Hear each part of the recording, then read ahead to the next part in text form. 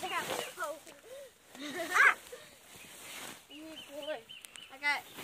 Um, which way should we go? Uh, um. Uh, uh.